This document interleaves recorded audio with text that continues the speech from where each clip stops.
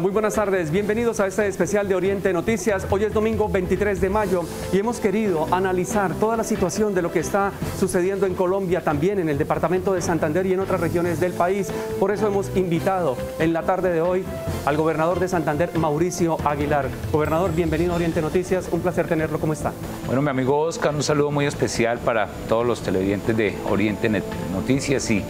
muy contento de estar con ustedes en este programa. Agenda apretada, pero bueno, hoy domingo tampoco descansa, les toca estar todo el ejercicio, le agradecemos por estar acá, por lo menos acompañándonos a esta hora, para que podamos analizar toda esta situación que estamos viviendo en el país. ¿Cómo la ven ustedes desde el punto de vista como mandatarios?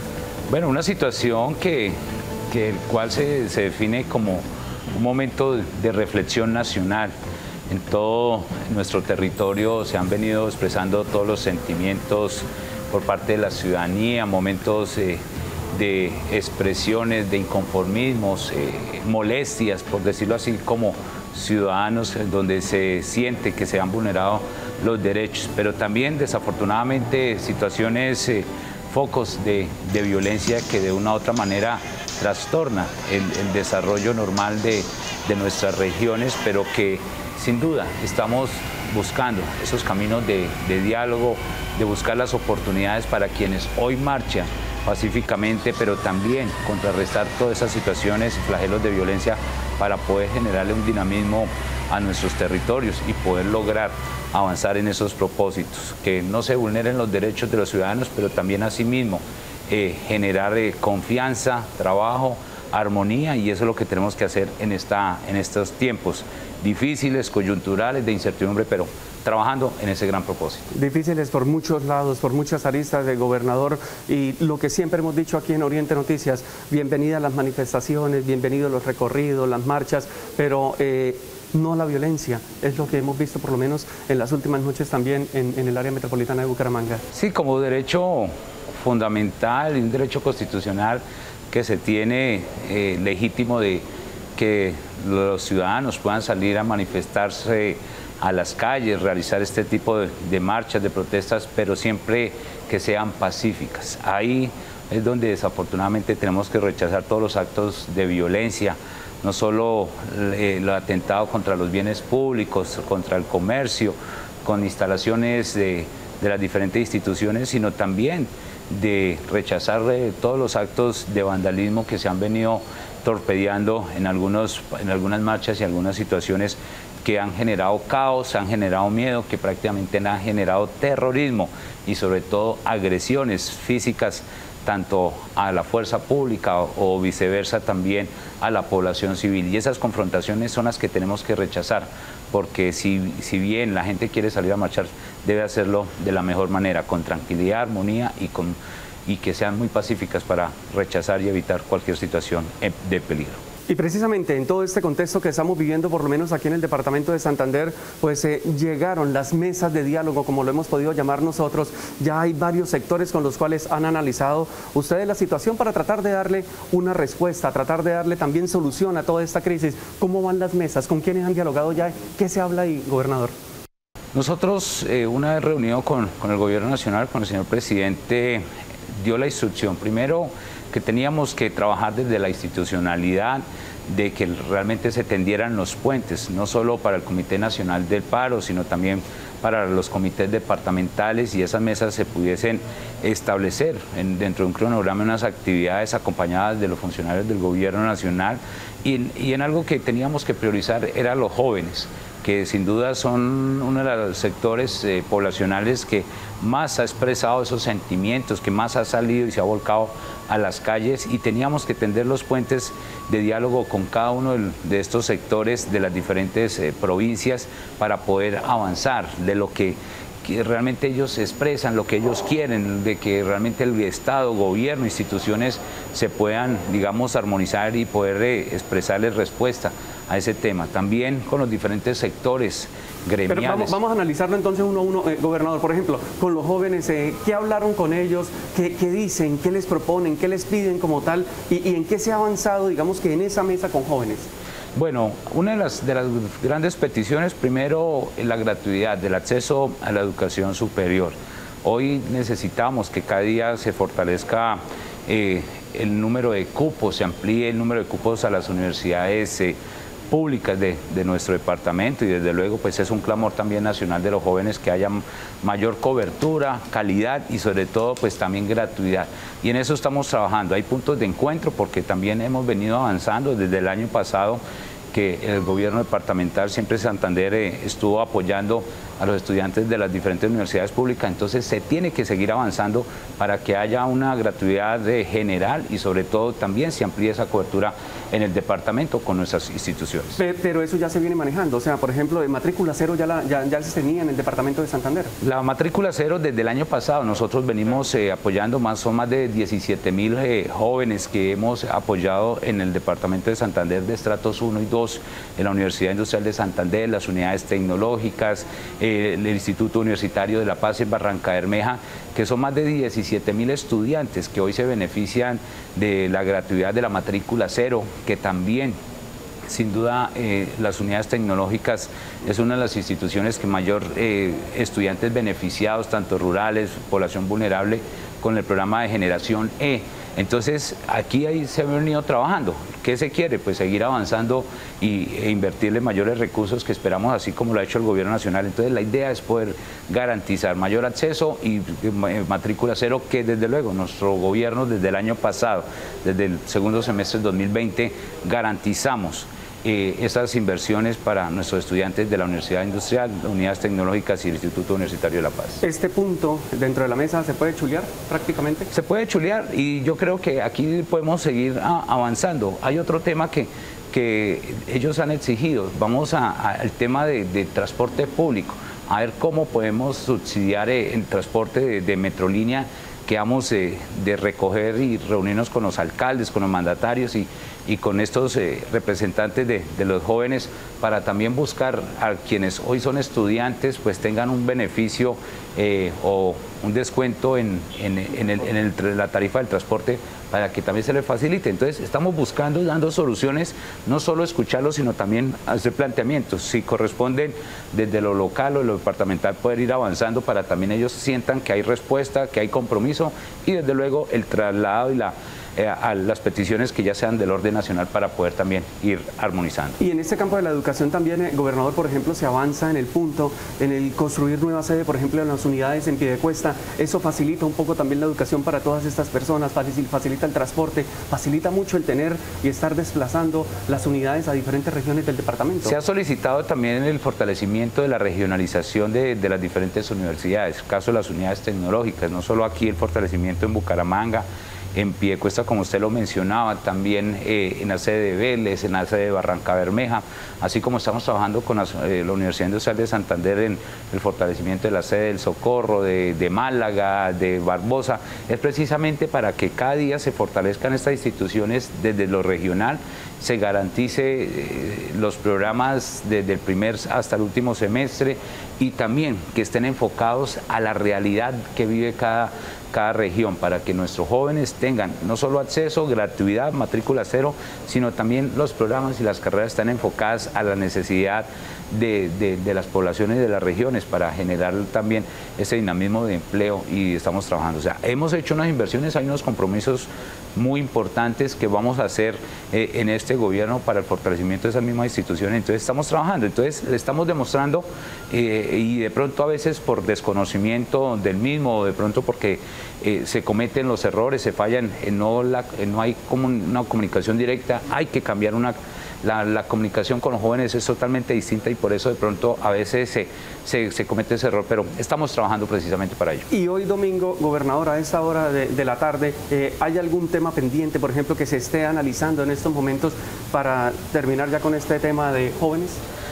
Hay algo que también está solicitando, el tema de empleo. Y, yo creo que el gobierno nacional pues ha venido anunciando no solo el subsidio de los parafiscales, poder garantizar, digamos, de, la población de los 18 a los 28 años también que tengan eh, esa ese llamado de mi primer empleo. Entonces estamos trabajando y yo creo que el gobierno, con el sector gremial, con los empresarios, poder garantizarles ese acceso también a esa oferta laboral, desde luego con nuestras instituciones como el SENA también, no solo en su formación, sino también eh, eh, el trabajo para, para ellos, para estos jóvenes. Entonces se está logrando. Yo creo que esos son los puntos que también se tienen que seguir fortaleciendo para garantizar no solo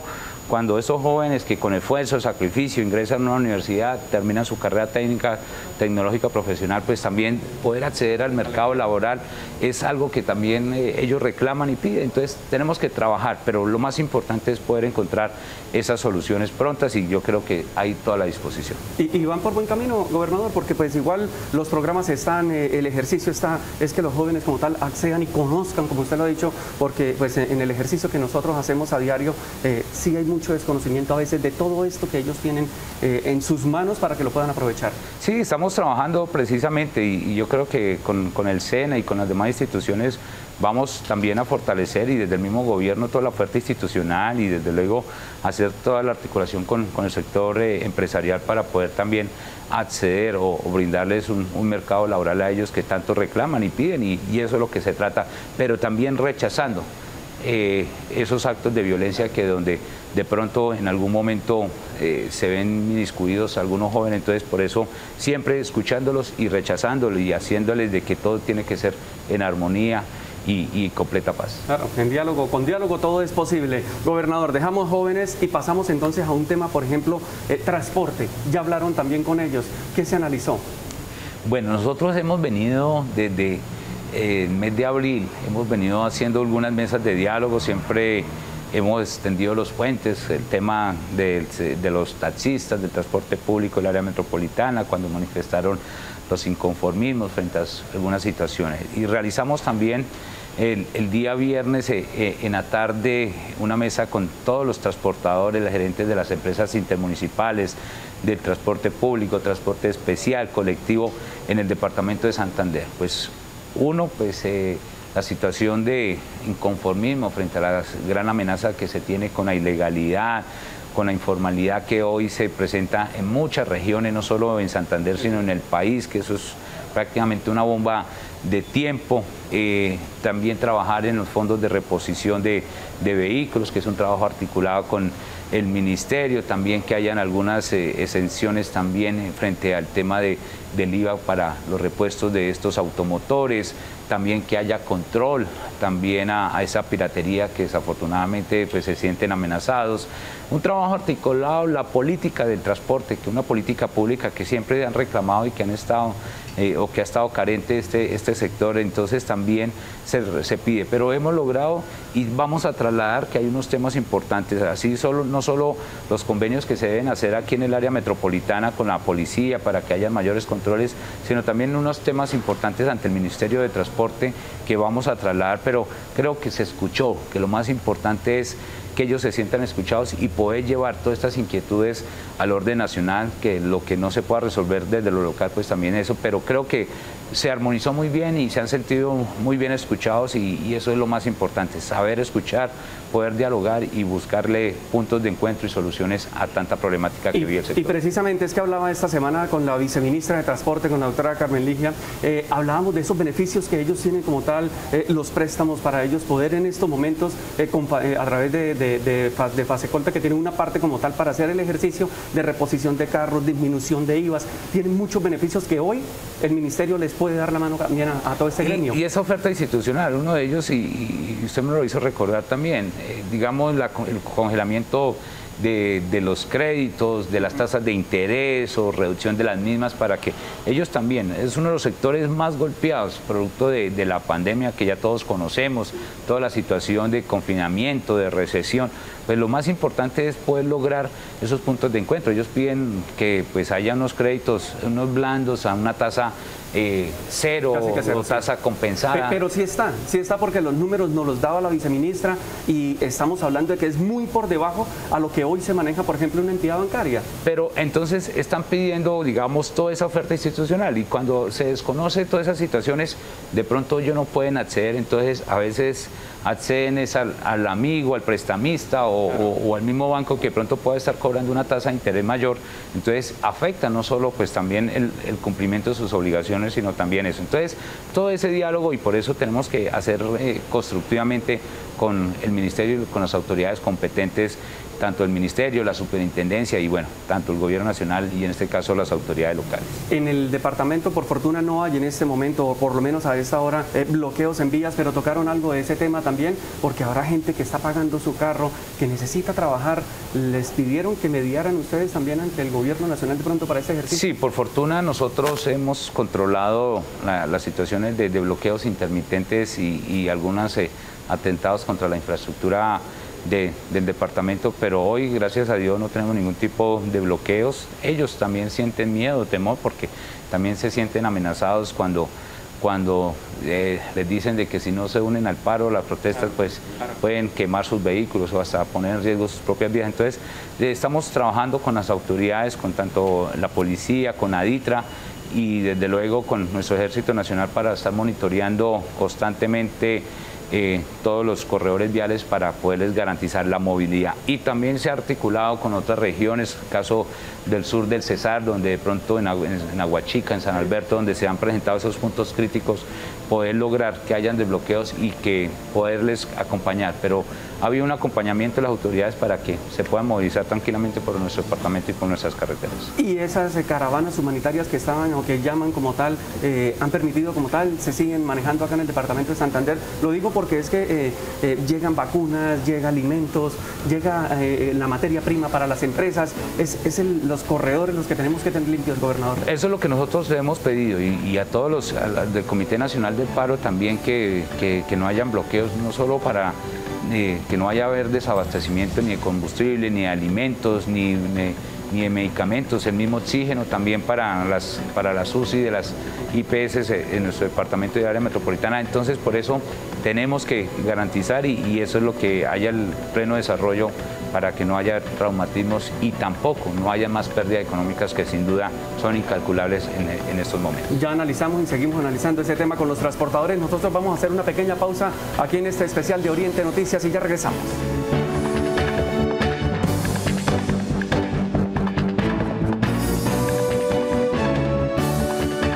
Continuamos con ese especial hoy domingo de Oriente Noticias, hablando con el gobernador del departamento, Mauricio Aguilar. Veníamos analizando, gobernador, todos estos temas, por ejemplo, del transporte, pero ellos tienen también muchas ramas como tal y es la economía en el departamento.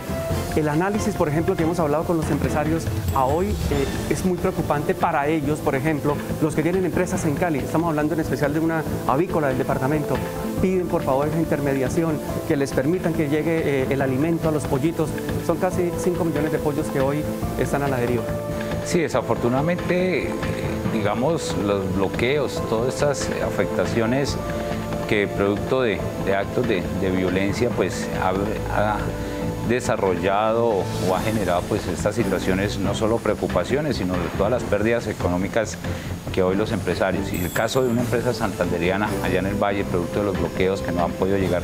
con los alimentos para aves, ni, ni tampoco poder sacar sus productos, pues es una de las tristes situaciones que se viven. Y, lo mismo eh, en, el, departamento, porque todo el caos, el miedo, el terror, eso generó pérdidas para muchas familias campesinas que no pudieron sacar sus cosechas, no las pudieron comercializar. O sea, es una situación que realmente se convierte eh, en una gran afectación para la economía. O sea, cuando se paraliza la economía pierden todo y en este caso pues las empresas andan muy preocupados y ayer que estuvimos reunidos con ellos pues también lo que más eh, piden y, lo que necesitan es que haya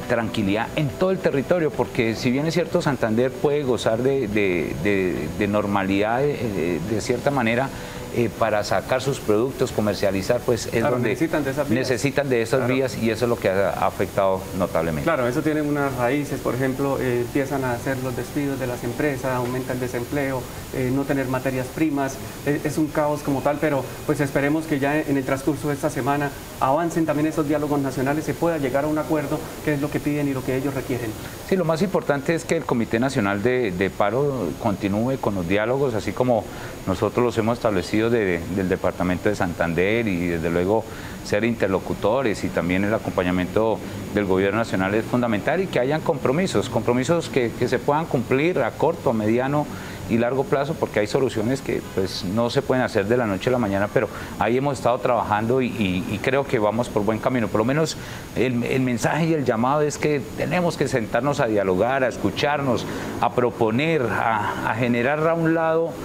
dejar a un lado el odio, el resentimiento, todos esos sentimientos que a veces son encontrados, pero poner puntos de encuentro es precisamente para que tanto gobierno y, instituciones y quienes hoy hacen parte de las marchas y, de estas manifestaciones realmente pues también tengan las garantías que es lo que queremos eh, lograr. Así es, para poner en contexto a la gente que nos ve a esta hora, estamos hablando con el gobernador de Santander, analizando cada uno de esos diálogos con los diferentes sectores en las mesas de diálogos aquí en el departamento de Santander. Una mesa más, líderes sindicales, ¿cómo les fue con ellos?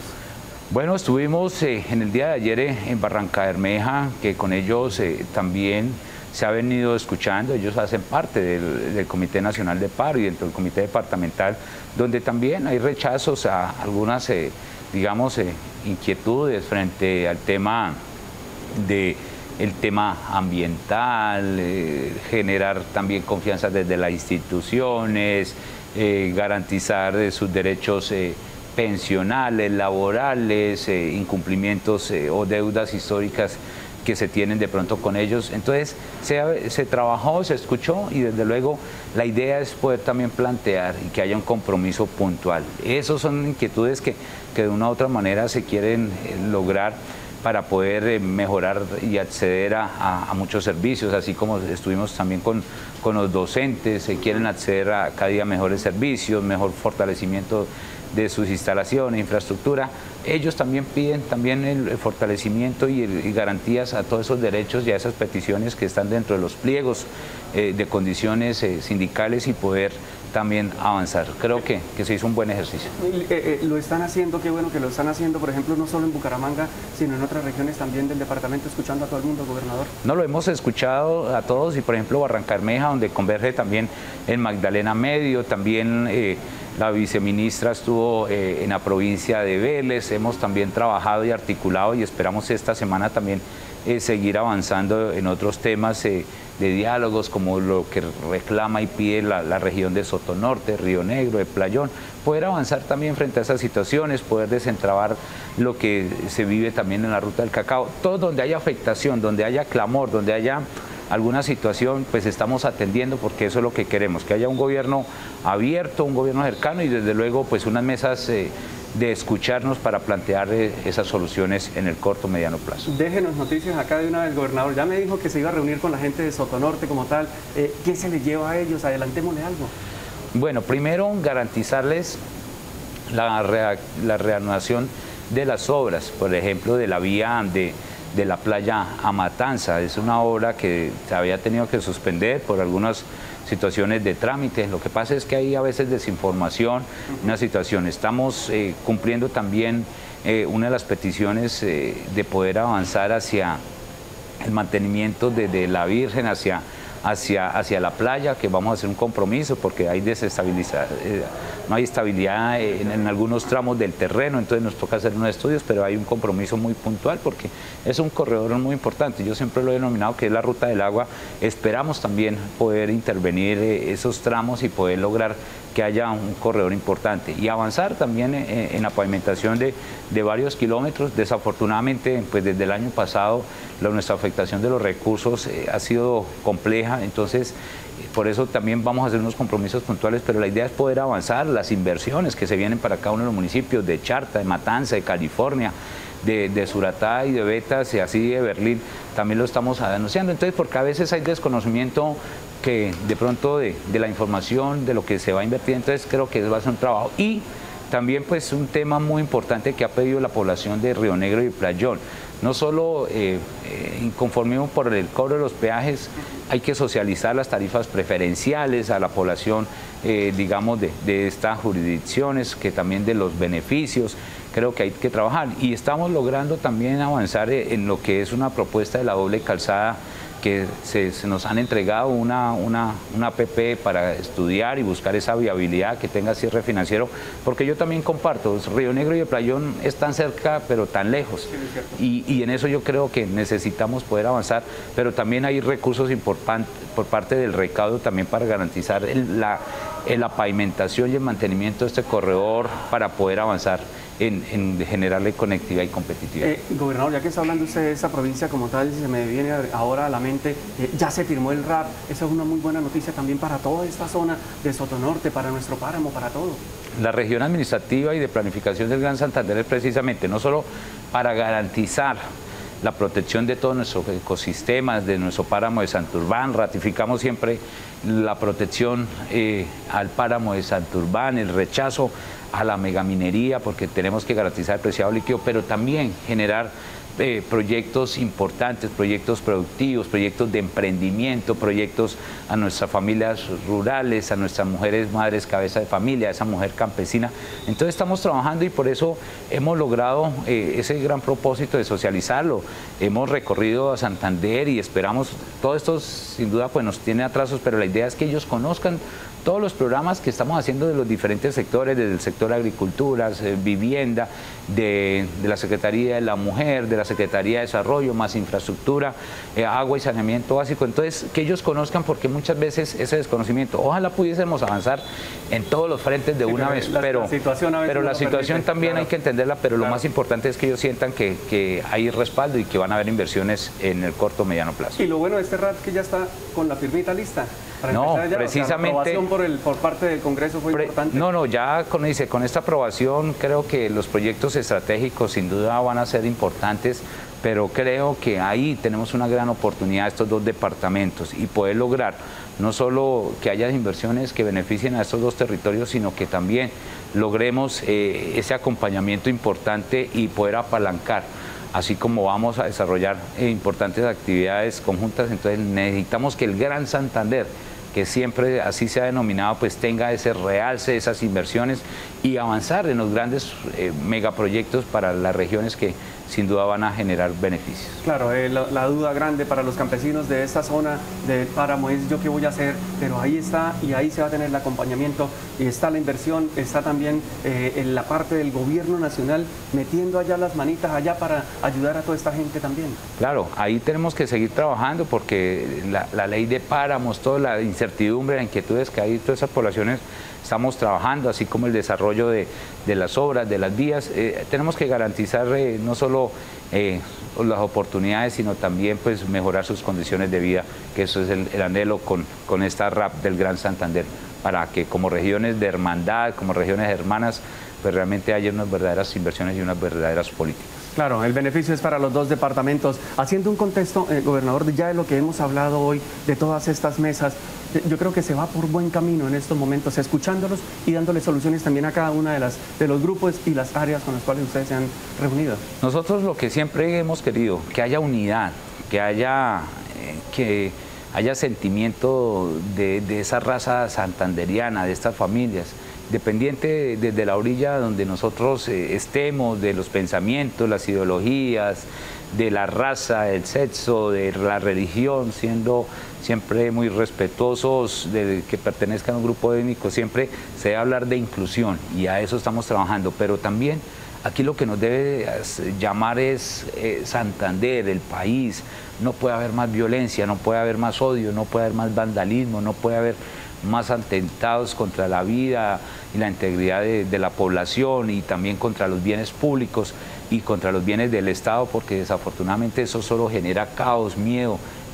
pérdidas económicas. Entonces, el, llamado siempre es a construir Siempre lo he dicho, nosotros tenemos que estar unidos. Muchas veces aquí nos comparan de que nosotros somos egoístas, envidiosos, tenemos que romper esa, esa característica que a veces de, afuera nos ven como nosotros los santanderianos. Nosotros siempre a veces nos comparamos esas otras regiones, a los paisas, a, los costeños y, nosotros siempre somos los, los malos del paseo. No, yo creo que hay que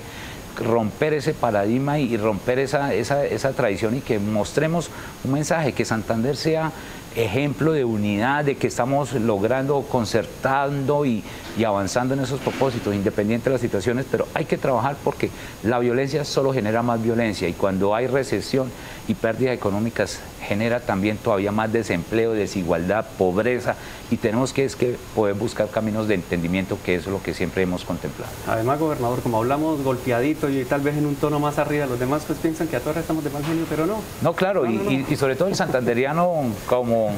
característica decimos las cosas de frente y, bueno. con las manos. Y con las manos y, hemos eh, recibido, nos dicen las cosas sin escuetos y, bueno, eh, creo que hace parte de nuestro ejercicio, nuestro trabajo. En eso tratamos siempre de, aceptarlo de la mejor manera, creo que en eso siempre uno conoce la característica de, la mujer, del santanderiano y, y bueno, bien, bienvenido siempre las, las inquietudes, las reclamaciones, pero lo más importante es saber escuchar y yo creo que cuando se escucha, se dialoga, creo que sí. Igual, igual ya nos miran también con otros ojos, gobernador, de unos años para acá nos miran con otros ojos en el departamento de Santander, a la región como tal, la ven como una de las regiones más productivas para el país. Sí, en eso yo creo que tenemos que seguir avanzando, por eso creo que tenemos que romper esos paradigmas, pero seguir mostrando que somos capaces de que esta es una tierra, es una raza que es pujante y que tenemos que lograr todavía mejores entendimientos y a, apostarle, aprovechar toda esa riqueza, toda esa biodiversidad, desde luego generando ese desarrollo sostenible, el equilibrio social,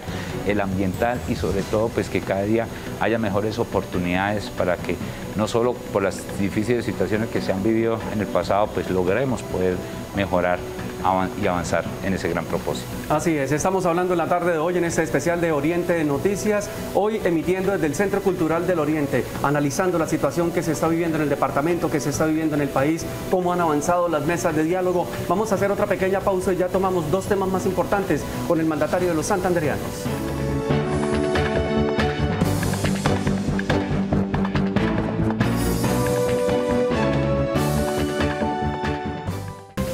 Continuamos con este especial de Oriente Noticias, hoy domingo con el gobernador de Santander, Mauricio Aguilar. Gobernador, ya que lo tengo acá y hemos analizado todo este contexto como tal, hablemos también, esta semana vino eh, el director nacional de los PAE, ¿qué nos dijo? ¿Cómo nos fue? ¿La evaluación cuál es? El doctor Juan Carlos Martínez, eh, director de la unidad eh, especial para el programa de alimentación escolar del ministerio, pues vino a, a constatar de lo que nosotros hemos venido realizando desde el programa de alimentación escolar desde el año 2020. Recordemos que eh, un programa que, no estaba contratado, tuvimos que hacer todo un esfuerzo y, poder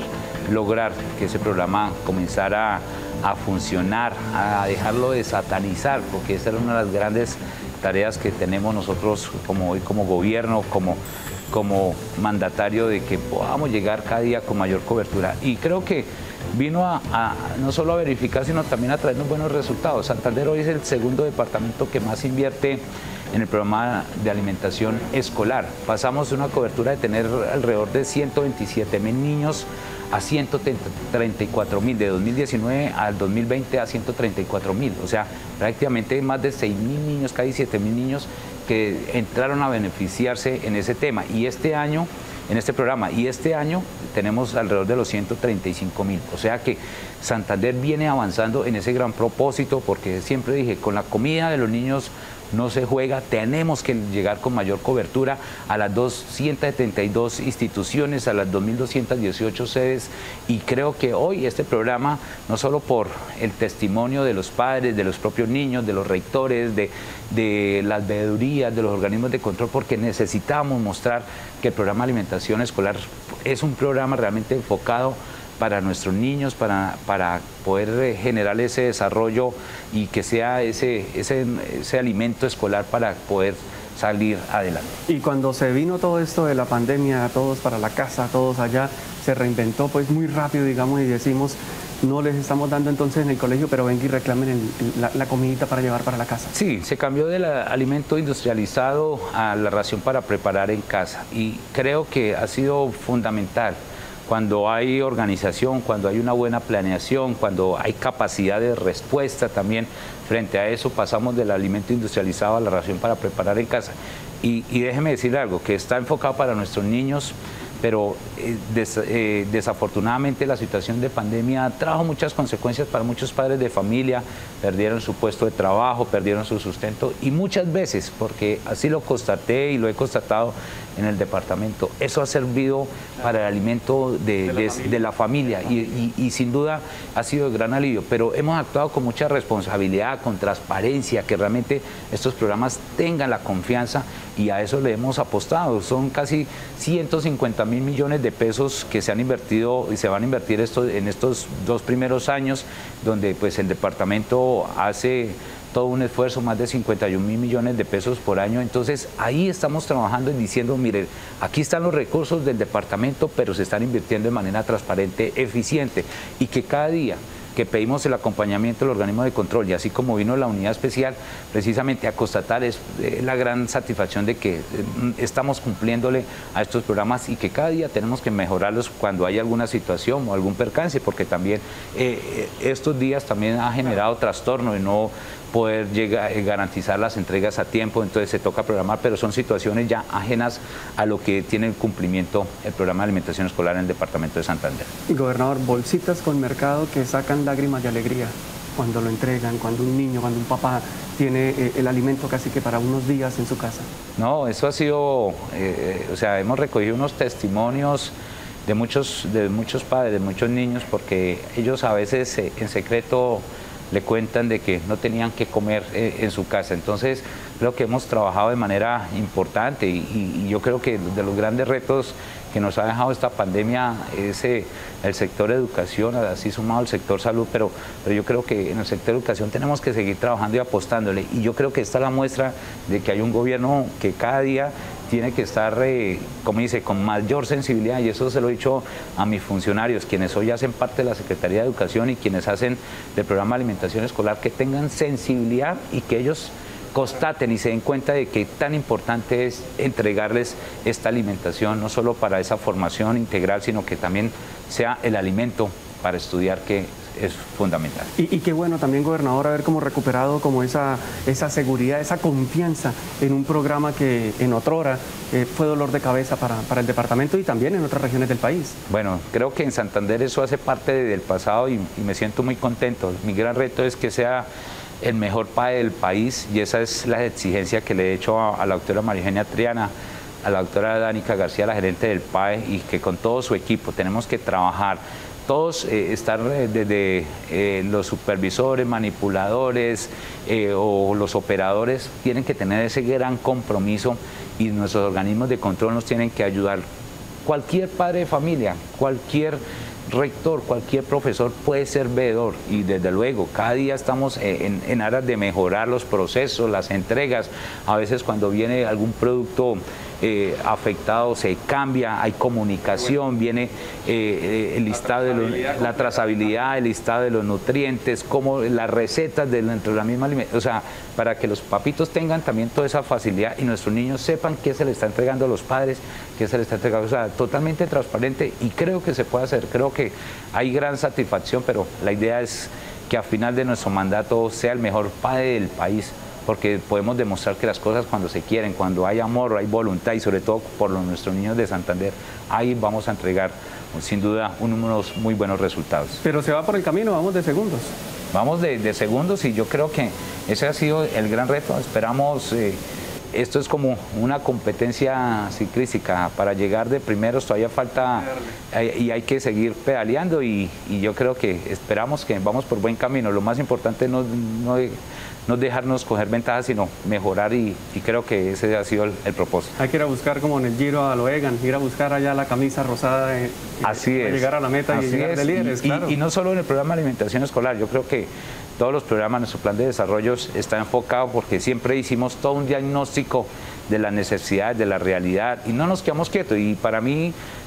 eh, la pandemia y toda esta situación no pueden ser excusas porque si nosotros no tenemos las estrategias, las alternativas, si no estamos enfocados a trabajar, a no quedarnos quietos, a llegar a pesar de las dificultades, las adversidades, tenemos que mostrar que somos capaces y, para eso nos bueno, eligieron. Quieto, quieto, nunca lo he visto, gobernador, trabajando siempre los siete días a la semana, 24 horas al día y pasando un poco y haciendo una, transición, eh, todavía toca virtualidad. Sí, y ese es uno de los, uno de los, de los grandes retos. Creo que entre los diagnósticos y, no solo lo recogemos con,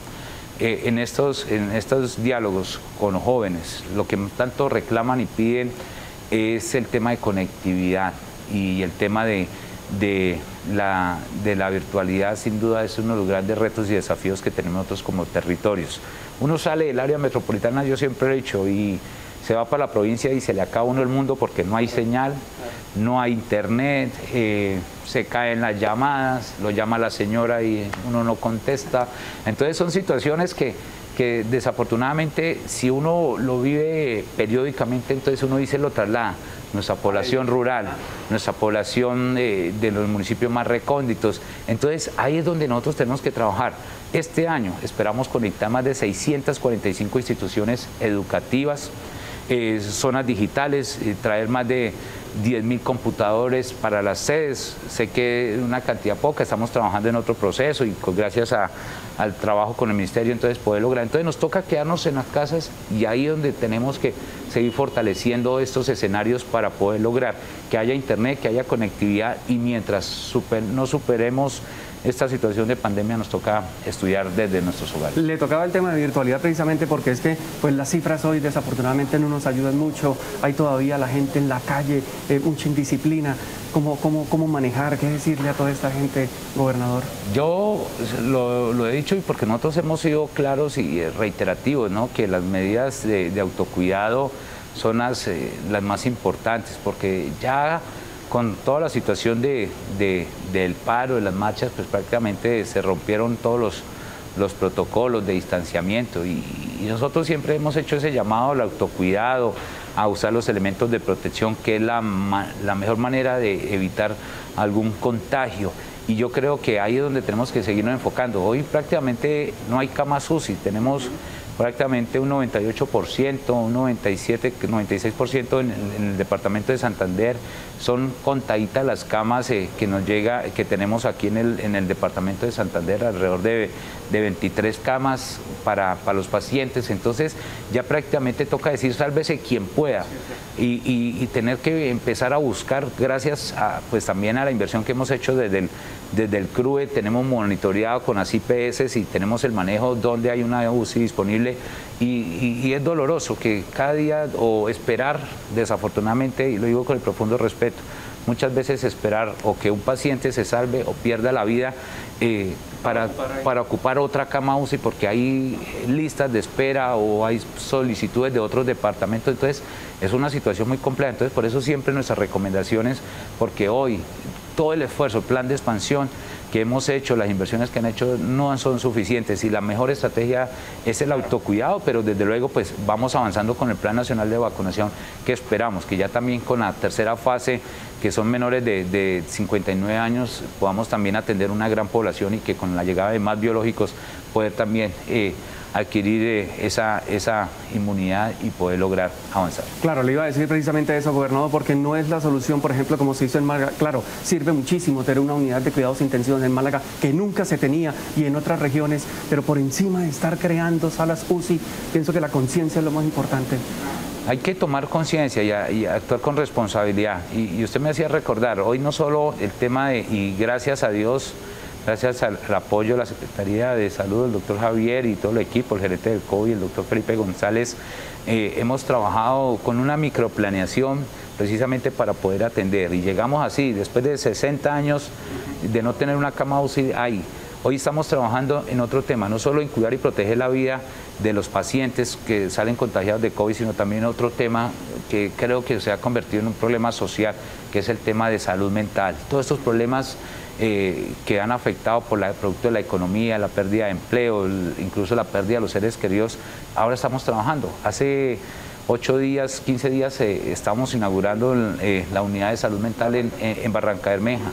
eran 15, 15 camas, hoy está full, está al 100%, nos están pidiendo más, que en la segunda fase serán otras 15 y nos toca llevar otras unidades en García Rovira, en la provincia de Vélez, Guanentá, Comunera, precisamente porque todos estos problemas. Entonces mire que tenemos que seguir atendiendo y trabajando por la salud y, la, protección de nuestros ciudadanos. Entonces, aquí tenemos que actuar mucho con responsabilidad, con conciencia, y cuando nosotros nos protegemos, nos cuidamos, tratamos de, eh, evitar al máximo todos estos problemas, eh, yo creo que es la mejor solución. Pero hoy son situaciones, no solo los problemas de COVID, sino mire todos esos problemas de salud mental que se han visto afectados nuestra familia. Y, la pandemia también trajo todo esto. Tal vez en, otras situaciones no se hubiera mirado al Hospital San Camilo para llevarlo a, Barranca Bermeja, llevarlo al sur de Santander, llevarlo también como se tiene pensado a García Rovira, porque es que la pandemia ha dejado todo esto y se mira o lo analizan ustedes desde todos los puntos de vista. Nosotros lo teníamos contemplado en nuestro plan de desarrollo, pero hay que decirle algo, mi amigo Oscar, claro, de que si no hubiese sido esta situación de pandemia, esta emergencia eh, económica, social y económica, pues de pronto nos hubiésemos tardado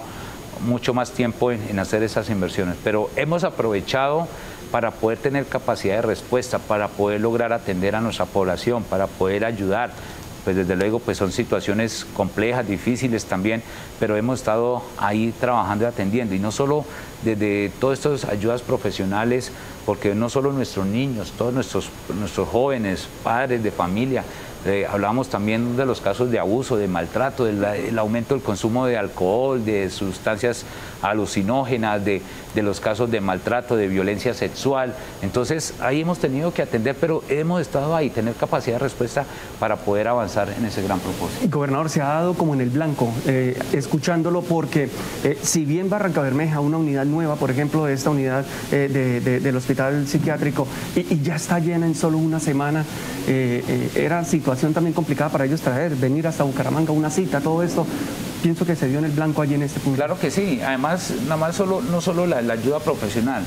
el, el ahorro en tiempo, en dinero, porque cuánto cuesta un pasaje de ir de Bucaramanga a Barranca Bermeja y también eh, la estadía, la manutención de los sí, claro, No es solo venir a la cita. No es solo venir a la cita. Entonces ahí hemos logrado y poder avanzar y así como estamos fortaleciendo el Hospital Regional de Magdalena Medio, también haciéndoles inversiones, así como tuvimos una nueva SUSI, pues estamos trabajando para el fortalecimiento. Yo creo que siempre he dicho, cuando hay voluntad y cuando hay ganas de trabajar y hacer las cosas bien, pues ahí se dan los resultados. Y ese ha sido el propósito del gobierno siempre Santander. Y así con otras obras que también incluso estaban inconclusas, paralizadas, suspendidas, estamos avanzando. O sea, hay un trabajo importante por, el Magdalena Medio, por Barrancarmeja y por nuestro bello departamento de Santander. Pues gobernador, era lo que queríamos en el día de hoy aquí en Oriente Noticias, analizar todo el contexto como tal de nuestro departamento, lo que se está haciendo también en las mesas de diálogo con el PAE, lo que se está haciendo eh, por el cuidado también y el autocuidado de las personas en medio de estas cifras dramáticas del COVID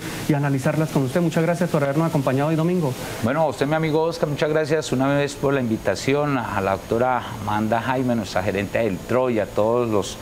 amigos periodistas, todo el personal técnico de, Oriente Noticias, muchas gracias por la invitación y, decirles a todos los santanderianos y a quienes nos escuchan, yo creo que en estos momentos de, reflexión nacional, de,